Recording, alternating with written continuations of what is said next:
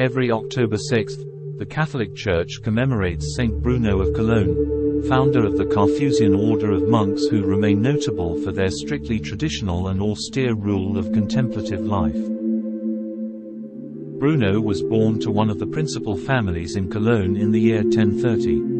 Little is known of his early years, except that he studied theology in the present-day French city of Reims before returning to his native land. He was most likely ordained a priest around 1055 and provided with a canonry at St. Cunibert's.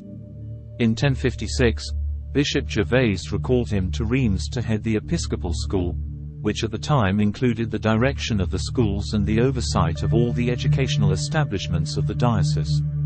For 18 years, Bruno led the school, acquiring an excellent reputation as a philosopher and theologian. Among his students were Pope Urban II, Cardinal Bishop Rangier of Reggio, Bishop Robert of Langres, and a large number of prelates and abbots. In 1075, Bruno was appointed Chancellor of the Archdiocese of Reims, which coincided with the appointment of the new bishop, Manasses de Gournay, a violent aristocrat with no real vocation for the church. In 1077, at the urging of Bruno and the clergy at Reims, Bishop de Gournay was suspended at a council at Autun. The bishop responded by having his retainers pull down the houses of his accusers, confiscate their goods, sell their benefices, and even appeal to the Pope. Bruno avoided the city until a definite sentence was released in 1080 which compelled Bishop de Gournay to withdraw and take refuge with Henry IV, Holy Roman Emperor, the fierce opponent of Pope Gregory VII. On the verge of being appointed as bishop, Bruno instead followed a vow he had made to renounce secular concerns and withdrew. Under the direction of Robert of Molesme, they band together along with other hermits which later on becomes the Order of Cistercians. However, after a short stay there, Bruno soon found that this was not his vocation. Along with six of his companions, they went to Bishop Hugh of Grenoble. According to legend, the bishop had a vision of these men under a chaplet of seven stars. He installed them in 1084 in a mountainous and uninhabited spot in the lower Alps of the Dauphiné, in a place named Chartreuse, not far from Grenoble. They built an oratory with small individual cells at a distance from each other where they lived isolated and in poverty, entirely occupied with prayer and study.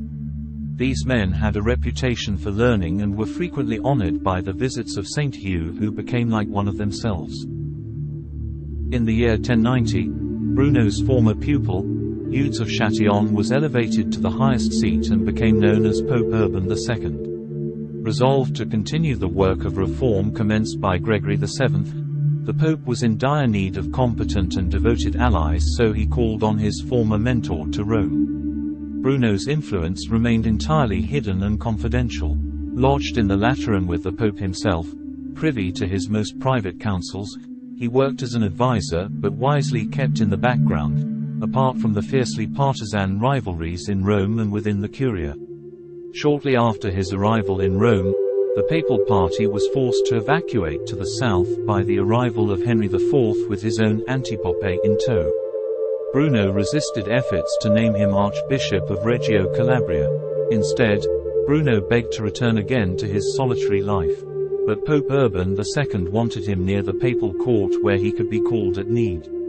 The place for his new retreat and some followers who had joined him was in the Diocese of Squillace, in a small forested high valley, where the band constructed a little wooden chapel and cabins. His patron there was Count Roger I of Sicily and Calabria and uncle of the Duke of Apulia, who granted him the lands they occupied, and a close friendship developed. Bruno went to the Guiscard court at Mileto to visit the count when he got sick and to baptize his son, Roger, the future king of Sicily. Because of their friendship and the generosity of Count Roger I, the monastery of St. Stephen was built in 1095, near the original hermitage dedicated to the Virgin. Bruno died on October 6, 1101, in Serra San Bruno. After his death, the Carthusians of Calabria dispatched a roll bearer who traveled through Italy, France, Germany, and England, stopping to announce the death of Bruno. In return, the communities inscribed upon his roll, in prose or verse, the expression of their regrets, with promises of prayers. Many of these rolls have been preserved, but few are so extensive or so full of praise as that about Bruno. Many witnesses celebrated the extent of his knowledge and the fruitfulness of his instruction. His disciples praised his three chief virtues, his great spirit of prayer, extreme mortification, and devotion to the Blessed Virgin. Bruno was buried in the little cemetery of the Hermitage of Santa Maria. In 1513, his bones were discovered with the epitaph, H. Sunt ossa magistri Brunonis, which translates to, These are the bones of the Master Bruno, over them. Since the Carthusian order maintains a strict observance of humility, Saint Bruno was never formally canonized. He was not included in the Tridentine calendar, but in the year 1623 Pope Gregory XV included him in the general Roman calendar for celebration on October 6.